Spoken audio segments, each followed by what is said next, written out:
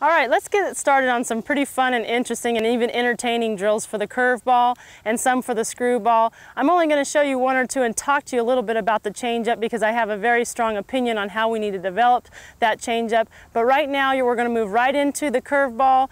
We're going right into an isolated knee movement to remember that we want to focus primarily on developing a good clean, crisp wrist snap and isolating the movement of the body out and working on body angles. There's lots and lots of drills out there that have been established and used on a daily basis to be able to help correct mechanical issues, but we're assuming at this point in time you have a pretty fundamentally sound pitcher or you are fundamentally sound yourself and we're going straight into developing the wrist snap and the body angle.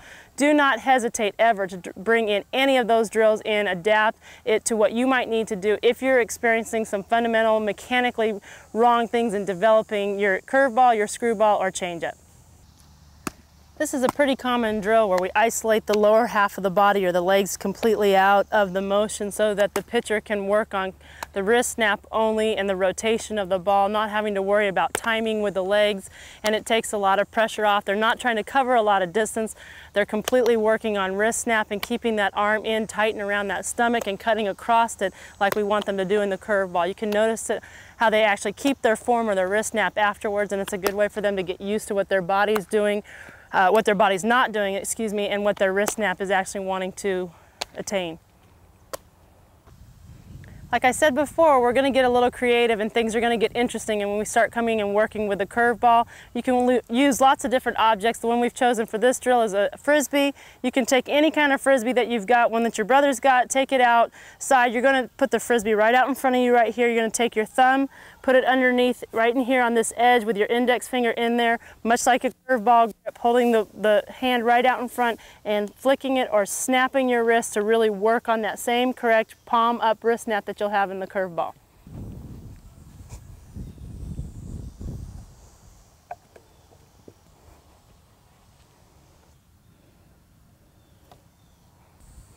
Like I promised you, things are going to get interesting here in trying to develop the curveball. I'm holding a volleyball. You can have a volleyball, a basketball, any type a larger ball. You can use it in the winter. You can do this in the home in front of a mirror with rolled up socks. But I actually have my pitchers go ahead when they're learning the curveball, or if remember those tendencies we were talking about, them bending at the elbow and coming across to hit right in here. And what we do is we just take this ball and we shove it right up inside the shirt or on top of the shorts so that as they're coming down and snapping, they're trying to snap down and around that ball, getting that full extension of the circle and snapping around it. Yes, you can imagine. The best way I figured this out is three and a half years ago, I gave birth to my son and I was still out pitching at that point in time and I developed the best curveball I ever had. So the idea and the light bulb went off in my head and that's why we're sticking the balls right in their stomach.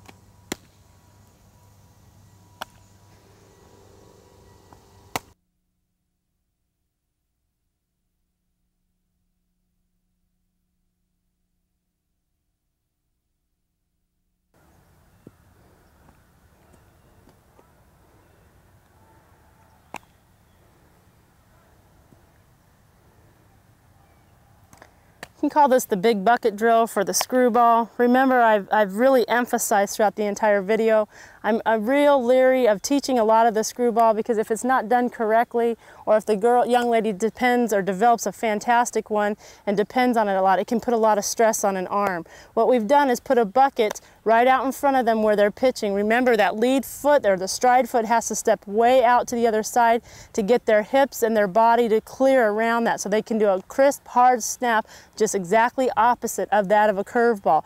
Remember, it's got to happen out in front and the legs or the buttocks has to be pushed out of the way to be able to snap and do the opposite action of a curveball, which is known as the screwball. This can be a real uncomfortable situation at first for the young lady. This should not be something that they're worried about hitting. If you have a nice plastic trash can, it's something that they're not normally concerned about or nervous about and can get that feeling of what stepping away is. This pitch really defies everything that you ever say that you're not supposed to do in pitching. You're always talking about driving straight out to your target, uh, not stepping away, not bending over losing your balance, and those are all the things that you try to master in learning how to throw the screwball.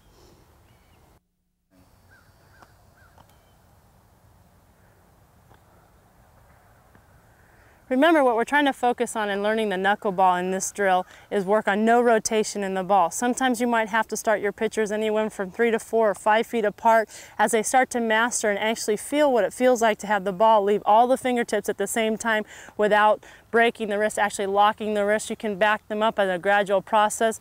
And then the whole nother thing that you add into this is when they start using their whole motion from a distance, that timing starts to become another issue and whether they feel like they actually have the ball. But it's an easy way, especially after a long day or a tough workout, have them come up and start working on four or five of them, especially with some of the younger ones. It gives them something to work on locking that wrist and pushing all the fingertips off at one time. They can see instant feedback and it's not something that they're using a lot of energy in. They're really just working on no spin and no wrist snap.